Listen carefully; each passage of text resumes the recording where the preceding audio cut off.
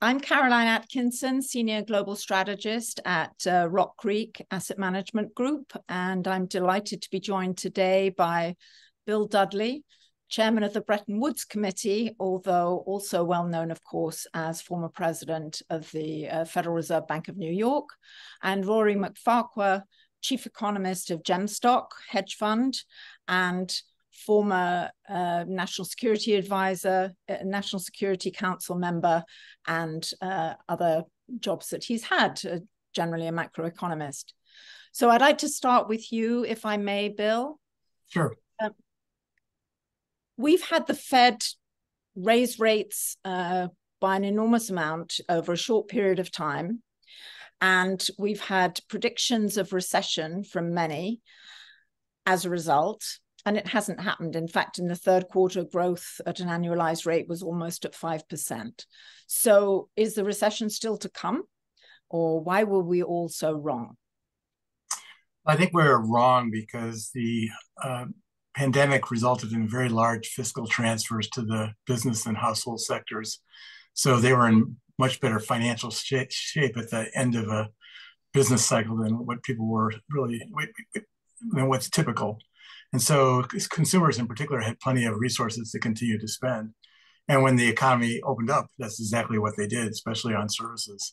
So I think the household sector just had a lot more uh, durability in terms of uh, what typically occurs. And that's what's been pushing back uh, any timing of recession. Now, whether we're going to have a recession or not, uh, you know, is anybody's guess. Uh, the Fed is obviously trying to go for a soft landing. Chair Powell was asked about it at recent press conferences, and he, and he said uh, basically the staff the staff at the Fed is not calling for a recession. So they're hoping that they can cool the economy off without actually turning generating an economic downturn. I think the answer to that question of whether they can really depends on how much do they have to loosen up the labor market to get inflation back down to two percent. There's a very interesting historical regularity in the US. Every time the unemployment rate rises by more than about a half a percentage point, you end up having a full blown recession. That's the so called Sahm rule. Uh, we're getting pretty close to that trigger point. Uh, so if the Fed actually does have to push the unemployment rate up to say four and a quarter, four and a half percent to get inflation back down to two percent, uh, we're, we're, probably going to actually have a full blown recession. But it yes, doesn't seem like it you referred to the Sahm rule, and of course, uh, many rules have been broken during uh, many regularities, economic regularities, have turned out to be different in this uh, recovery or post recession uh, period. Rory, do you go along with Bill's view that it was really the consumer and the delayed impact of the fiscal uh, push here that has postponed a recession or maybe stopped it altogether? I mean, one thing that's really extraordinary in at this point in the business cycle is that the US is running a sim- simply enormous budget deficit. And, you know, that's in some ways quite scary because, you know, when unemployment is as low as it is, when um, the economy seems to be in extremely robust shape as it, it was in the third quarter, and as there's you know every reason to think is is, is going to continue, um, perhaps at a slightly less uh, torrid pace in, in in upcoming quarters. The the idea that that we're running, you know, what may be around seven percent of GDP budget deficit. Um, you know, one can only imagine what would happen if we actually did go into recession, and the automatic stabilizers of the tax system and and the the spending system kicked in you know we would be potentially in double digits as a budget deficit. So you know clearly that is part of the explanation for why why um, the economy has been so robust. I mean i think that was a great surprise to a lot of people that the budget deficit actually widened in 2023 um, a part of that was a large part of that was on the revenue side a few one-off items. But still it's clear that the overall fiscal policy has been very supportive through, you know, quite late into this uh, into this recovery. And so your concern, just to follow up on that, is that eventually this will lead to inflation, or eventually it will uh, mean that interest rates really go up a lot long term because of the government is crowding out, a bit like the arguments of the 1990s. I mean, I think it's really an extreme version of the latter that uh, we are going to need to find buyers for a very large quantity of bonds. And you know, one thing that was very striking uh, in the last couple of weeks was that the um, Treasury Department announced how it was going to do its its borrowing for the first quarter of the year, and the big surprise was that to a very large extent, it is borrowing at the very short term in Treasury bills rather than um, in, uh, in, in in longer term notes and bonds, and the significance of that is that essentially what the Treasury is doing is drawing on the excess liquidity that the Fed is sitting on as a result of some of its pandemic programs. It knows that that money is available to it, and so if it if it issues this these short-term bills, there's not going to be any disruption in the bond market. But this is only putting off the inevitable, because at some point it's going to have to issue longer-term debt, and and then the question is, who's going to buy it? The Chinese are not the buyers of last resort anymore. The J- Japanese are not buying a lot of bonds. Um, the Fed isn't buying uh, bonds like it like it was in, uh, in in recent years. And so all of a sudden, the Treasury is going to actually have to attract bond uh, bond buyers that that really care about how much they're being paid. Um, and that what, could be yeah. a very big change from the last 15 years.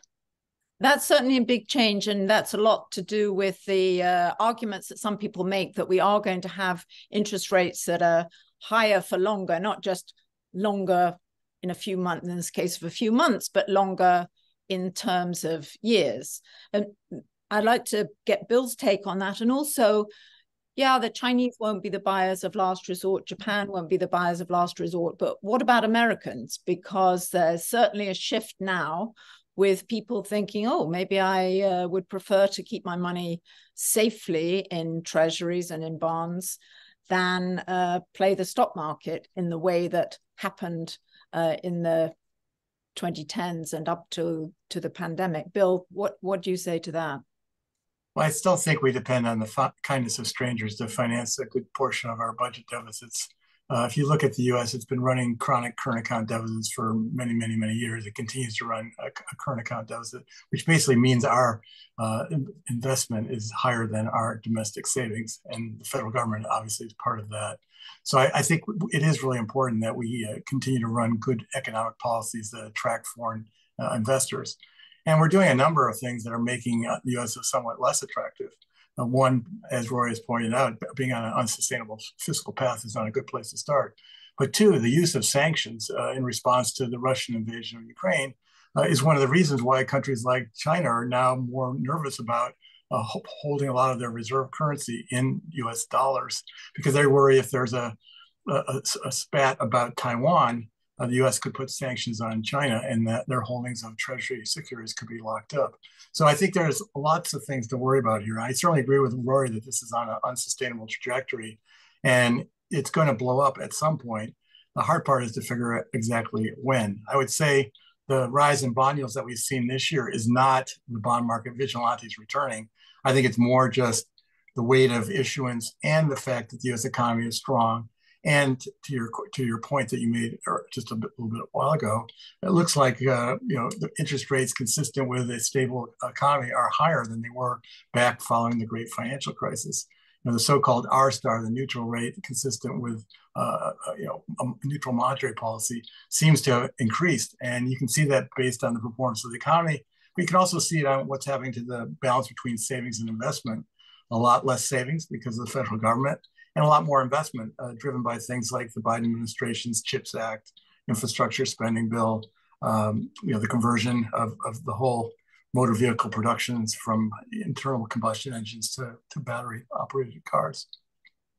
So is that does that add up to something that is bad or something that is good with more investment leading maybe to more productivity and a stronger economy going going forward? I must say that if one looks at the performance, the economic performance in Europe, uh, where there's Germany has been in recession, probably the major economy there, and the whole area may slip into recession.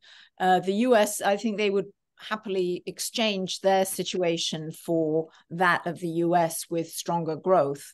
But is that, are we riding for a fall? The Germans are very dependent on the motor vehicle sector, and that sector is going through very intensive change. And they're also very connected to China in terms of what's happening to the domestic demand in China.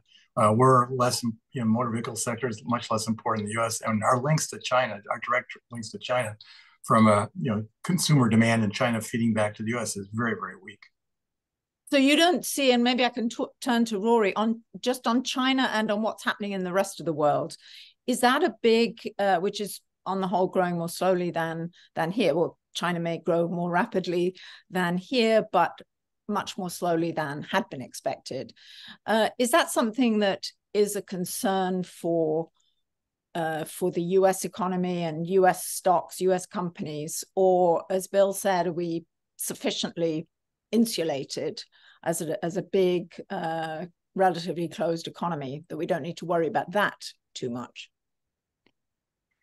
We clearly need to worry about the rest of the world less than the rest of the world has to worry about us.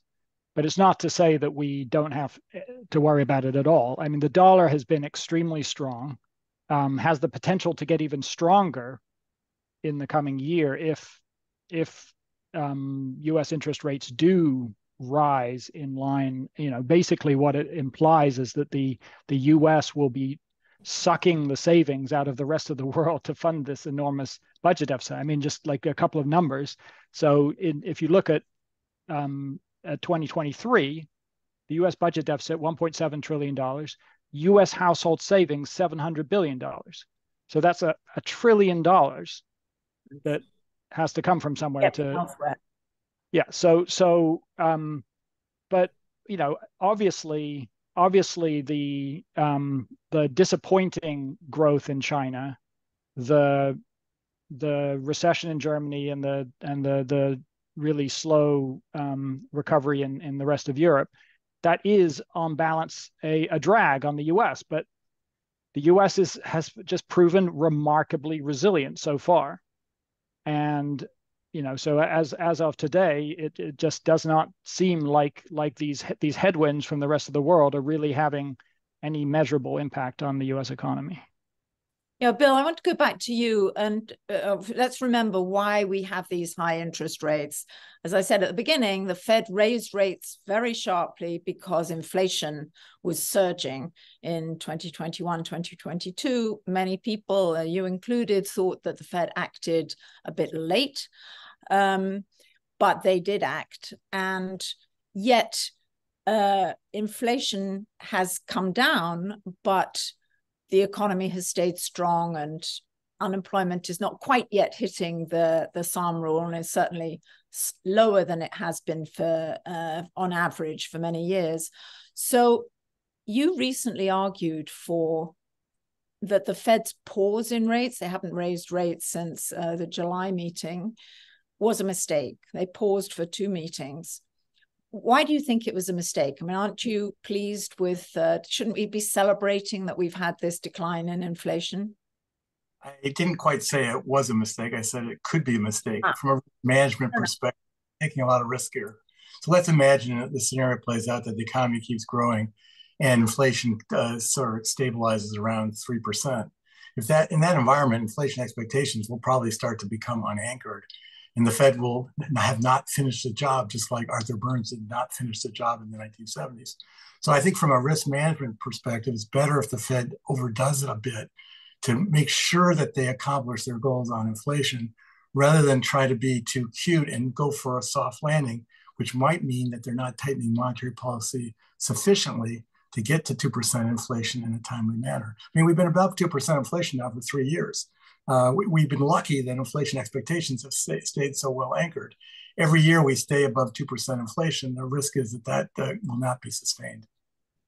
And do you think that is there something special about 2% or are you are there a number of economists who who argue well uh, maybe 3% would be fine but it might be bad for credibility to uh, announce a shift to 3% what what's your view on on that I would say two things. Number one, I would say a shift to, from, from 2% to 3% that was explicitly made would be very damaging to the Fed's credibility.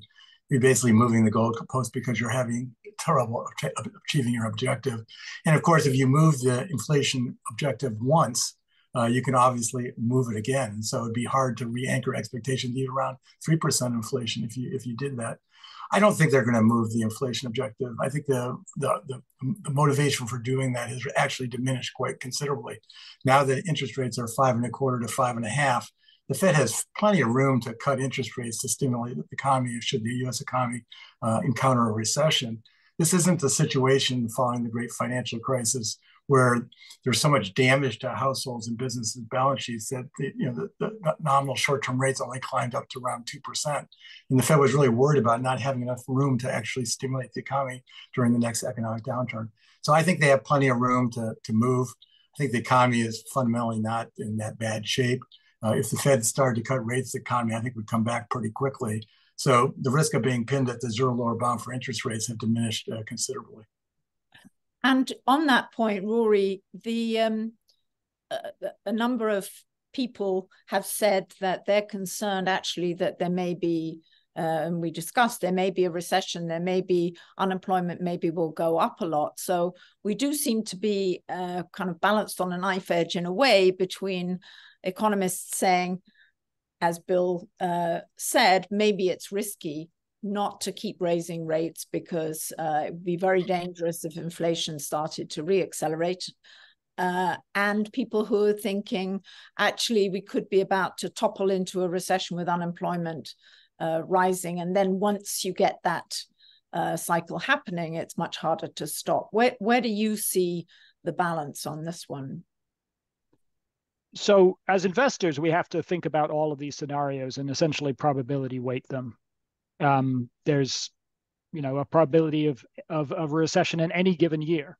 And often looking back these recessions were not anticipated until you know very shortly or sometimes only when when in retrospect they were already underway.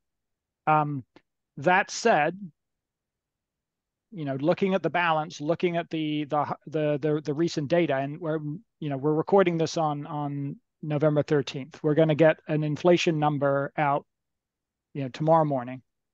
And and that's going to give us some indication of whether we have we are on a benign downward inflation trend as we seem to be over the summer and in which case the the needle threading that the Fed has tried to do will start to look more successful and effective. But there's also the risk, as as Bill indicated, that the the inflation indicators are going to be um, actually quite stubborn, and you know core inflation hasn't really been on a clear declining path over over certainly the the most recent period. There are some indicators that some some components of the uh, inflation index that could actually be moving in the wrong direction. And and so as a result, we may be we may be at the bottom of where inflation goes, in which case, you know, certainly we we could we could be going into 2024 with a quite healthy economy and stubborn inflation above, you know, maybe a, a percentage point above above the Fed's target, or maybe even more. In which case, the Fed will probably have to I mean, I will obviously defer, defer to the former Fed official on this, but the Fed might be, you know, having trouble explaining why it is not doing more. And yeah, but you know that we could also see the opposite dynamic. It's just that the opposite dynamic, the the recessionary dynamic. I mean, if you look across uh, Wall Street forecasters, you know, many of whom forecast a, a, recession at some point in 2023, then gradually pushed it out into 2024, and a lot of them have just removed it altogether now. A little bit like the Fed staff. So there's a question of who just for one, I think one of the uh, quarterly forecasts, they had put in a recession, even though it wasn't clear that the policymakers bought into that uh, picture. Is, is there any uh, fear that just when everybody decides that there is unlikely to be a recession, one comes? I mean, is is there any evidence from the past that? Oh, uh, absolutely. Absolutely. I mean, if you look at the look at the, the, great financial crisis, we actually went into recession when they when all the smoke cleared in December 2007 but nobody knew we were in recession all the way up through Lehman Weekend. And then when Lehman Weekend happened, everyone sort of knew that was a disaster and we were going to actually have a very, very deep uh, recession. So typically recessions start long before anybody's actually identified it. And the National Bureau of Economic Research only dates the recession, you know, oftentimes a year and a half, two years later. So it wouldn't shock me at all if, you know, sometime in the first quarter we were in recession. We didn't know that. Fed didn't know that. Markets didn't know that. And you know, a year later, it's oh yeah, that's when the, the, the downturn actually started. I mean, right now we have a, a, difficult economy to evaluate because we basically have a softness in the goods sector, uh, partly exacerbated by the pandemic itself. Because during the pandemic, people bought a lot of goods and they stayed at home; they didn't consume a lot of services. And now they're doing the opposite. they're buying a lot of services. They're not consuming a lot of goods. And so when you look at things that measure activity in the goods sector is pretty soft. And when you look at inflation in the goods sector, it's quite weak. But on the services side, things are still going, uh, you know, great guns.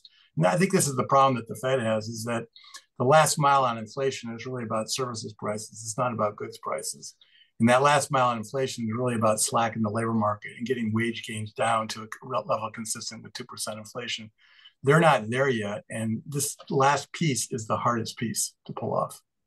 And how do you think that the strikes and the settlements that have recently been uh, agreed, UAW, Hollywood, uh, and so on, play into that idea about uh, what's happening? You know, it could it could affect psychology, but a lot of these settlements are sort of backward looking. Like you know, the the auto workers were sort of not getting paid for during a period of very high inflation, and some of this is sort of catch up for what they actually experienced. So I guess I look at it as more of back backward looking, catching up, as opposed to forward looking, setting a whole new standard for uh, wage wage inflation.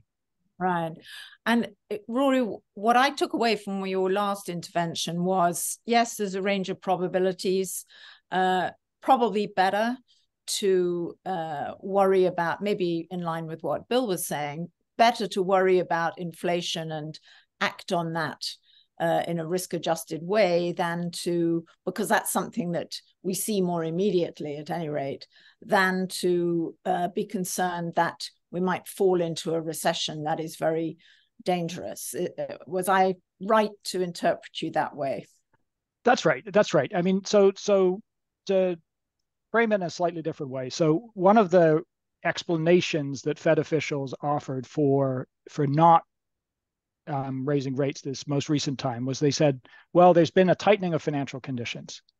You know, long end bond rates had had risen pretty sharply, and the Fed argued that the market was doing some of its work for it. It was it was tightening financial conditions even without uh, an increase in um, in Fed rates. But then what happened when you know the Fed didn't move?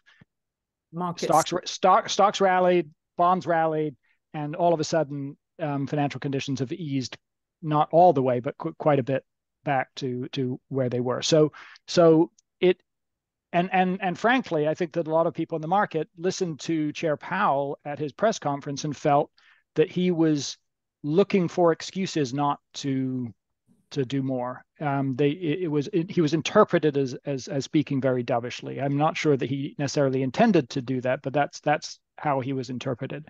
And so that actually potentially makes his job harder. It means that you know rather than um, jawboning the market into into doing the tightening for him, he might actually have to do the tightening himself.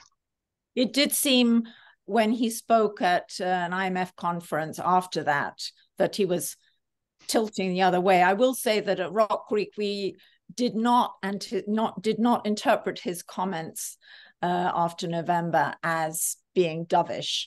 Uh, he was, in fact, quite careful to say, yes, financial conditions have been tightening because of uh, what's been happening at the long end, but we don't know if that's going to continue. So we might, um, but I guess markets uh, heard or investors heard what they wanted to hear, which has been a, a phenomenon really uh, for a year. Bill, do you think that you can leave the markets to do the tightening uh, for the Fed, or you know, I think it, I, I, think you can't. You got to be careful not to push that too far. So, I mean, for example, why are bond yields going up? they're going up because real rates are uh, need to be higher because monetary policy is not as tight as we think we are, and the Fed needs to continue to tighten. They're going up because inflation expectations are becoming less well anchored. Then the Federal Reserve has to tighten. It's only if it's the bond term premium that's the reason why bond yields are going up that that exerts financial condition restraint. You know, I, I think you know when you listen to Chair Powell, I think what what what's what's dovish about what he said is that he's pretty optimistic about how the economy is performing. The labor market is normalizing it on its own. Wages are coming down uh, you know, so he, you know, the labor supply has increased. So a lot of the things that he's saying is that things are working out uh, more easily than what the Fed feared they would do uh, 12 months ago. So when the Fed started this tightening process, I think they were probably pretty nervous about how far they were behind the curve, probably pretty nervous about inflation expectations becoming unanchored, probably pretty nervous about how tight the labor market was already. And they've been pretty fortunate inflation expectations stayed well anchored.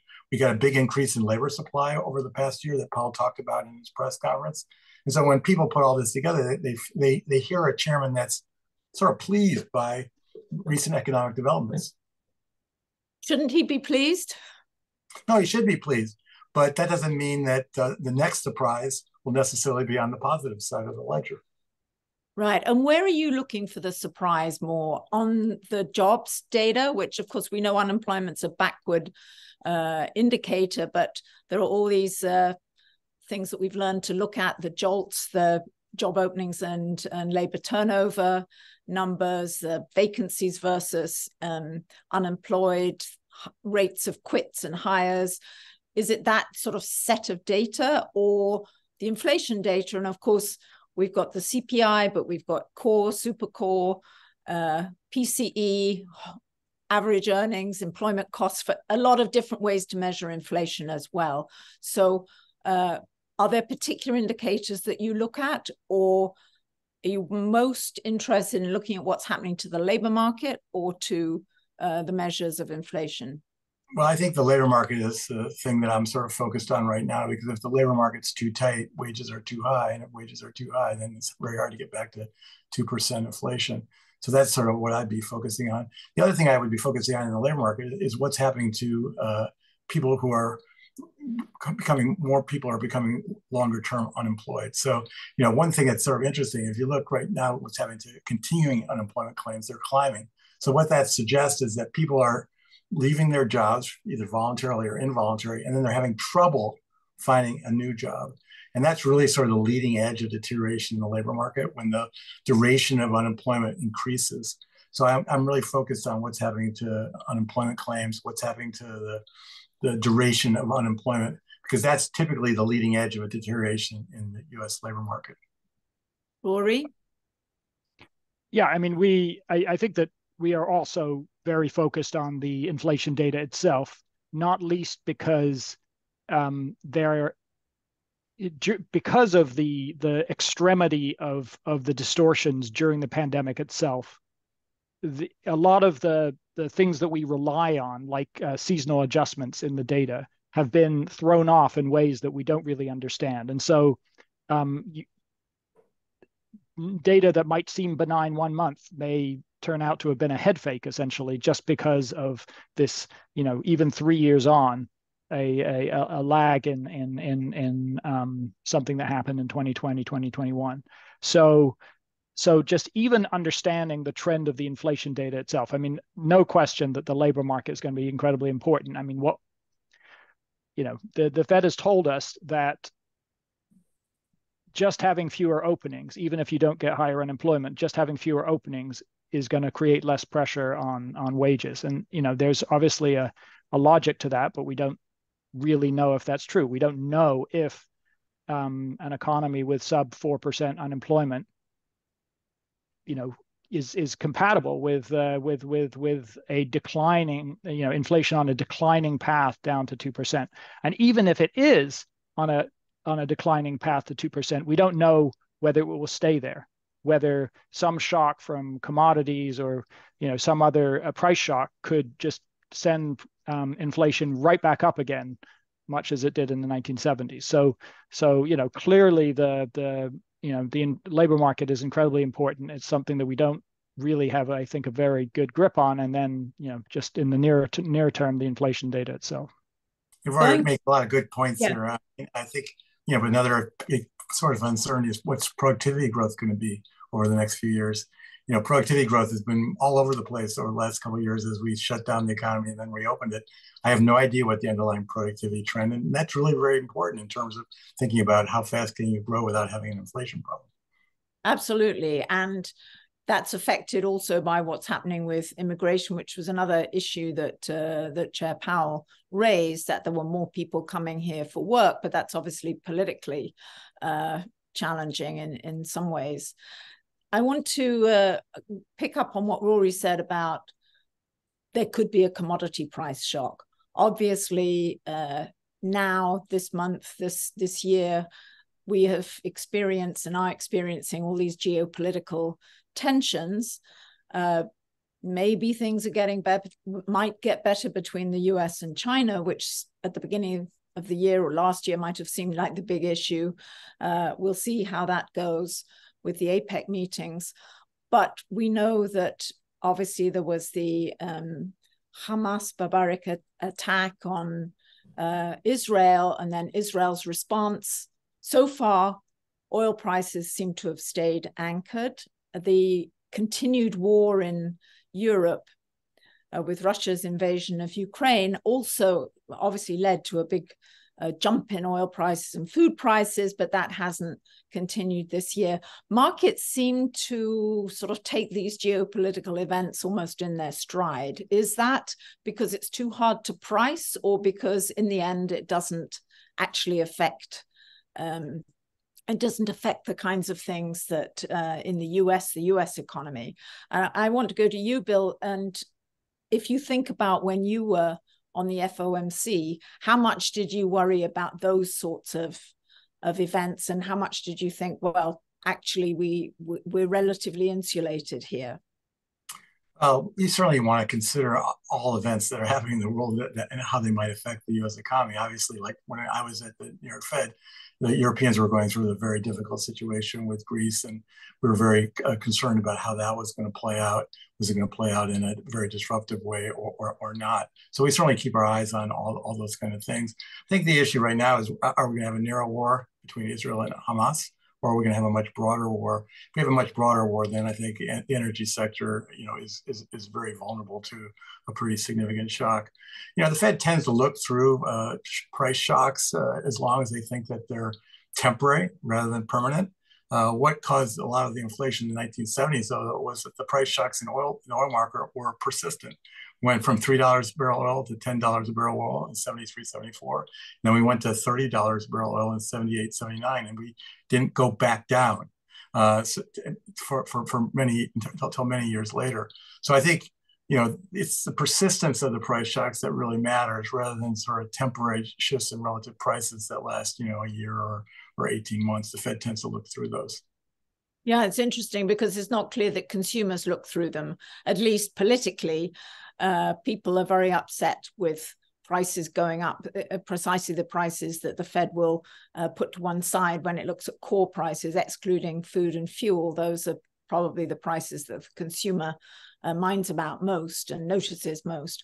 But Rory, as a as an investor yourself, how do you think about these geopolitical tensions?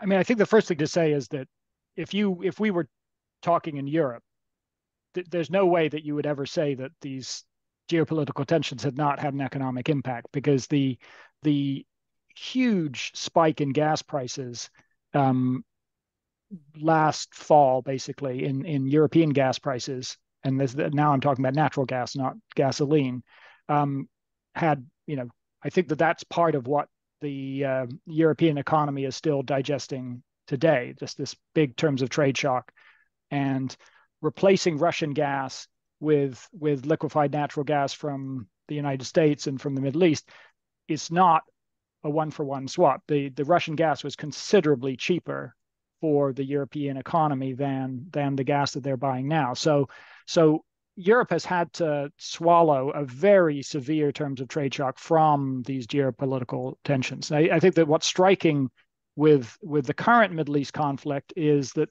you know there was a, a little bit of a run up in oil prices at the beginning because people were bracing for you know a broader war you know Iran getting involved, the Straits of Hormuz potentially being blocked, and you know and that being one of the major uh, sources of of oil for the entire world, and um, and obviously that has not yet happened, and in fact oil prices now are are more or less where they were, and so uh, you know so far so benign, but um, you know, and obviously this is just speaking in a narrowly economic yes. sense because there's yes. nothing benign about the the actual situation itself. Um, but uh, you know, clearly this is something that that I think uh, the investment community is watching very carefully to see whether whether there is uh, any kind of broader um, spread of, of the conflict. Right. Yeah, and the U.S. U.S. is a bit insulated from a lot of these energy risks because we're a big energy producer now. We're basically positive. You know, we, when energy prices go up, it actually stimulates economic activity in the U.S. to some degree because uh, the shale oil uh, production ramps up, uh, natural gas production ramps up, and so the U.S. is in a very different uh, place than countries that are dependent on foreign uh, energy imports. Yeah, no, that's an important point. I wanted to ask maybe that's one reason why uh, uh situation's been so different in Europe. I wanted to ask, as many people have said, uh, the inflation in the US, the inflationary surge has tended to be uh, blamed on uh, the fiscal stimulus that took place during the pandemic, um, both under former President Trump and under President Biden. And then, as you said just now, Bill, the somewhat delayed response of the Fed. But Europe had a, an inflationary surge as well. And um, in some cases, worse than the one in the United States, it's also turned around. So some uh, people view that as evidence that actually this was a global phenomenon, much more than uh, something that can be pinned on US policy. I guess a different way to look at it is well, the US drives the world. And so the inflation inflationary surge elsewhere uh, basically came from from here as well as from the conflict in in Europe. I'd like to get your take first, Bill, and then Rory on well, if the causes were so specific to U.S. policy, causes of the inflation, uh, why did the inflation happen everywhere? Well, I think the causes of the inflation in different places were certainly different. I think in the U.S. it was really about uh, uh, overly aggressive fiscal policy stimulus, so that when the economy uh, opened up, you had a big uh, expansion of, of demand. But the other thing I think that, that there, are, there are also common factors. I mean, the COVID pandemic caused tremendous frictions everywhere in terms of the ability of people to work, the ability of people to you know, source the goods that they needed, the supply chain disruptions. That was a global phenomenon. That wasn't a U.S. phenomenon. And of course, in the case of Europe, they had a big energy price shock, as Rory said, on top of that. So, you know, the, the, everyone had inflation, I think, because of the frictions. The sources of the inflation beyond that were different depending on where you, what, what country you were in. Rory. Yeah, I mean, I, I think that one other way of, of, of looking at this, I mean, clearly there was a, you know, a, a trans a, a, transient component to inflation from the supply chain disruptions and and the the really massive shift from uh, of consumption into to goods from ser- from services in the beginning of the pandemic. Um, in the emerging world, and um, there was a smaller fiscal response and a more rapid monetary response. I mean, in the large emerging markets like you know the Mexicos, the Brazils, and Eastern Europe, and so you are seeing that they are, you know, further along in this cycle. Uh, a number of emerging economies have already started cutting rates because uh, you know their inflation is coming down quite nicely. So I think that everything is as you would expect based on the textbook here. That you know the the the places that just did much more fiscal stimulus. I mean, the Europeans did quite a lot of fiscal stimulus, including um, uh, a, a, lot of money that was uh, given to households to help cushion the blow of the energy shock last winter, and you know, and so all of this has has has has generated uh, or made it more challenging for for policymakers to bring inflation down. Um, Although and, it's uh, come down a fair amount. It has, but it's not where they want it to be. Not where they want it to be, for sure. I think we you've certainly uh, seemed to conclude that rates are going to stay higher for longer. Uh, whether that's just through 2024 or or much beyond that. and I know that there are recent uh, some of the Wall Street uh, analyses recently are suggesting that actually rates are going to start to be cut in the middle of next year. But let's put that to one side. What do you see for investors in 2024? I'm going to go first to you, Rory, both in bond markets and uh, equity markets, if rates do stay uh, higher. So, I mean, I think that rate staying higher is, I would say, our main scenario. Um, but that's talking about short end rates. But then a very significant question for the markets is what happens to longer end rates. And as was implied by things I said earlier, um, you know, our view is that they could potentially go up quite a bit as the market tries to digest just the the sheer volume of bond issuance coming out of you know primarily the the United States, but the United States is not the only country to be running uh, significant budget deficits as well. So, and and and that itself can be obviously a little bit of a, a drag on on other asset prices. It could be a huge. It, it, you know, when we talk about crowding out, we classically think about the government um, drawing an investment away from the private sector, but this in in in global terms, the crowding out could be from, for example, emerging markets that you know instead of capital flowing to the emerging world, it all gets sucked into the United States, and so you know I have no worries about the U.S. being able to fund its budget deficit, but things get might get broken along the way as it does so, and, and I think that there's no likelihood that there will be any significant fiscal adjustment in the United States at least until 2025.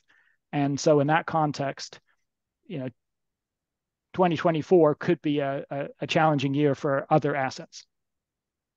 Right. And that includes uh, equity markets that will be it, seen.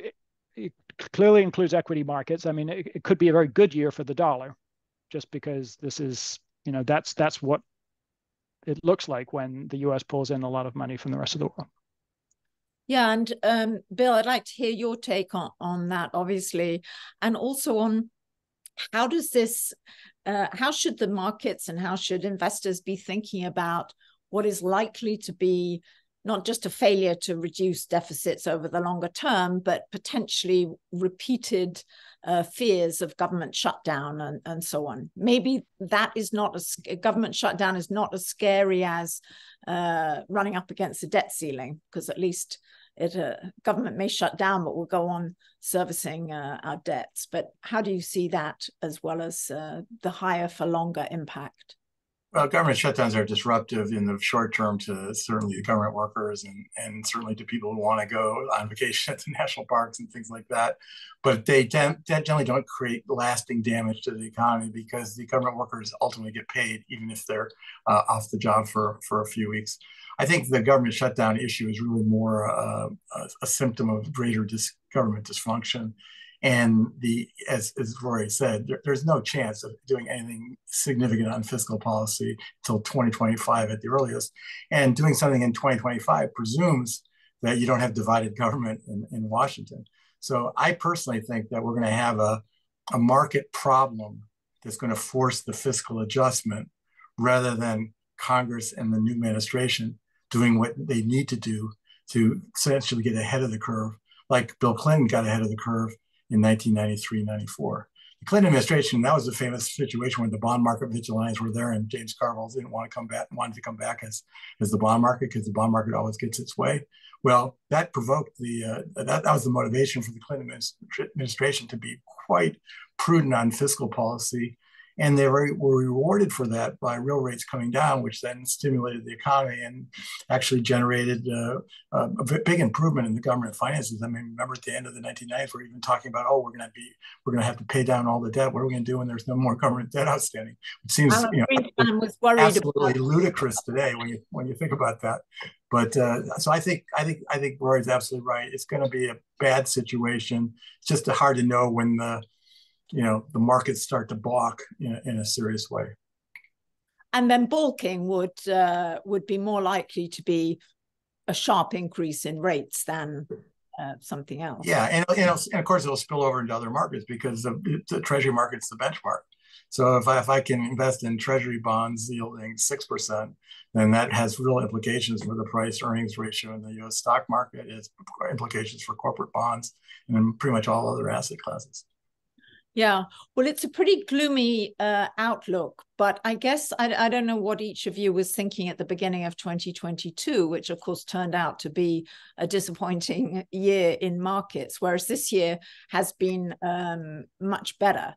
So um, I don't know if it'd be interesting to hear why was 2022 so bad. Maybe it was just the the sharp increases in short rates versus what's happened so, so far in 2023 has there been sort of problems building up that are going to come or might the pessimism be overdone? Well 2022 was the end of the biggest bull market in treasuries that had lasted since the early 1980s so you can sort of understand that you're in a 40 year bull market when that bull market ends that's uh, uh, pretty yeah. traumatic uh, and we've been in a you know a low for long uh, low for long period since the great financial crisis. And I think what people got wrong uh, in 2022 and into 2023 was the, the, the, economic expansion following the great financial crisis was not the right template for the current economic expansion. Uh, there wasn't the amount of damage to uh, household and business balance sheets. There was a tremendous amount of fiscal uh, support this time when there wasn't much fiscal support back in 2011, 2012. So people who were thinking that the, this business cycle was going to be about like the last, last business cycle were, you know, rudely uh, disappointed by that, and that's what caused the market to adjust. And of course, the Fed was late, and so the Federal Reserve had to go much faster than they would typically have, have moved if they had, had been more preemptive in terms of monetary policy. Yeah, I, I want to go to Rory, but also to say well, uh, it wasn't. This this uh, response has not been, and the situation has not been nearly the same as it was after the global financial crisis. Maybe that is a reason for some optimism, even if the Fed doesn't quite manage to thread the needle of uh, of a soft landing. Uh, the kinds of uh, hard landings that we've been used to maybe are not likely to come now. So I'm trying to tease some optimism out of out of Rory. Well, I, I think that it is. I mean, one thing that has been remarkable so far is that there was one of the reasons for pessimism at the beginning of this year, um, and uh, and and you know last year as well. One of the reasons that people were predicting a recession is that they they reasoned that if you suddenly go from 15 years of zero interest rates to 5% interest rates in the space of 12 months, that things will break, that there will be, um, you know, there's the famous Buffett line about you only know who's swimming naked when the tide goes out. And, you know, so I think that there was the assumption that there were a lot of people who were naked. Yeah, in one way or another, they they built business models around zero rates lasting forever. And that wasn't entirely wrong. It turned out that there were some number of regional banks and and and other financial institutions that had essentially betted that um, that that uh, they could reach for yield by you know buying a lot of long-term um, government bonds that uh, they funded with short-term deposits, and that proved to be for a handful of institutions a real problem. But I think that one of the surprises is is that there hasn't been more um, there was a blow up in the British uh, pension industry briefly, but um, but you might have expected that more there there would be more breakage around the financial system, around uh, around the economy, and it's just been really striking how much resilience this this economy has shown, and I think that um, as you both have said, I mean, a lot of it is because households and and and businesses and and financial institutions are all just in much better uh, shape. They have much stronger balance sheets than they did going into 2008, and so we we we don't have those um, you know th- th- those real structural problems like, for example, the Chinese clearly do. The U.S. is just not facing the same kind of uh, challenges of of, of repair that we did in in 2008 2009 you think about it a little bit like the great financial crisis swept away all the weak structures and we haven't had enough time for new bad structures to sort of regenerate themselves uh, or so maybe you, or maybe reforms and policies help. Well, that's helped too. That's helped too. I mean, the banking system clearly is a lot healthier. I mean, the Basel re- reforms, more capital, higher quality capital, you know, more liquidity, all those things have helped. But I mean, I think it's you also a lot of weak structures just got, you know, vanished. And yet, you know, and even in the problems that we had in the Mar- in March in the U.S. banking system, it's totally different than the Great Financial Crisis. It's all happening in plain sight. You could just look at their earnings report. You could understand exactly what their problems are, what the pressure was on the net interest margin, how the deposits were being repriced. The Great Financial Crisis. I remember calling up someone during the middle of the Great Financial Crisis and asking him how long would it take uh, that, that this person on Wall Street to eva- to to evaluate complex CDO. He said, "Oh, I could get, I could value that in about three weeks." Well, I knew if it took three weeks to one, value one CDO, we were in really deep trouble. yeah, yeah, no, that's a very good uh, metric.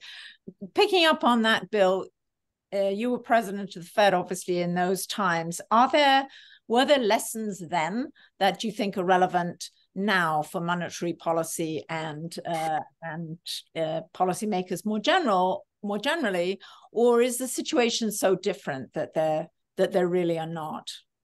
I think the situation is pretty different, but I think you know in every uh, you know business cycle, don't be overconfident about what you think you know. uh, you know, remember the f- famous uh, view that subprime lending in the U.S. wasn't very big, and therefore the, what couldn't cause much problems for the for the U.S. economy. Uh, yeah. or, or, this time where the Fed basically changed its monetary policy regime on purpose to be late, and then look at all the inflation that came back. So, you know, your presumption that the next business cycle is always going to be like the last one uh, typically turns out to be wrong. And so, I think you need to be much more, uh, I don't know, agnostic about uh, what you know, what you think you know, versus what you actually know about what's going to happen uh, in the business cycle agnostic and therefore maybe also agile and uh, and flexible. And uh, Rory, I'd be interested in uh, you. You were in a different uh, part of the government after that time. Is there are there lessons that you think um, carry over from then, and and maybe also including uh, on Europe? Bill mentioned earlier the problems that there were in Europe some people are worrying about Italian bonds even even today.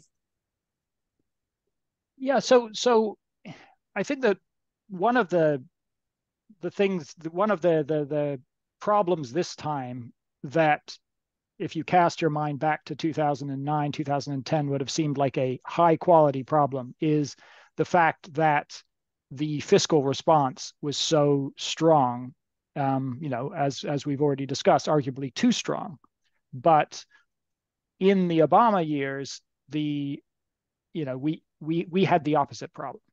We had um, essentially after the first two years, we had no ability to to do any kind of proactive policy really in any area, and fiscal policy was was was constantly on a contractionary path, um, even as the Fed was unable to meet its inflation targets from the low end rather than from the high end. And and so you know just as we probably overcompensated in um, in in in this most recent uh, crisis, you know, a little more fiscal support, I think, would have would have really made the the post financial crisis period, um, you know, we we now remember it as this period of slow growth and you know a really kind of difficult recovery and obviously a period where U.S. politics got particularly toxic and I, I think those those phenomena are related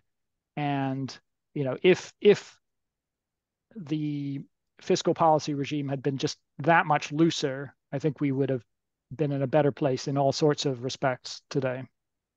Yes, and maybe I'm I'm going to give the last word to uh, Bill. But as you were talking about how the mistakes of uh, of, of that period maybe led to mistakes in the opposite direction now, we're also talking about the balance sheets of the private sector, industry, and financial sector so much stronger.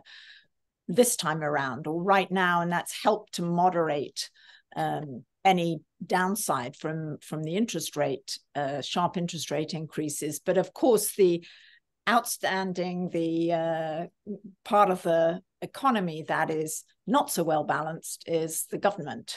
And uh, maybe that's better than the other sectors because the government can, in the end, in the US at any rate, finance itself. Uh, but maybe that's more worrying. Uh, I, I would ask uh, Bill to comment from the point of view of also a former monetary policy official who had to deal with the vagaries of, of uh, fiscal, fiscal policy in the US. Well, the central bank has to take fiscal policy as it is, not fiscal policy as it wishes it would be. Uh, and you know, Chair Powell has been asked about fiscal policy, and he doesn't really he doesn't want to talk about it. He doesn't want to put the Fed in the middle of the political debate. Um, I think that the fiscal situation, as we've talked about today, is, is on an unsustainable path. Uh, it, it, it, can go on longer than households and businesses becoming too indebted because they're constrained by cash flow and their income and their ability to service their debt. The government can service its debt by issuing more debt. So this process can be sustained for quite a bit longer, but it doesn't. Uh, it, it, can't be sustained indefinitely. And so I think that you know we are building up a pretty sizable imbalance here uh, that's going to have to be resolved. And I'm I'm guessing it's going to be resolved in the, within a few years. Okay, well, we just have to hope that that's resolved in a soft way and that the Fed manages to do its soft landing. Thank you very much, uh, Bill, William Dudley, and Rory MacFarquhar for joining us. Bye. Thank you. Thank you. So, thank you both.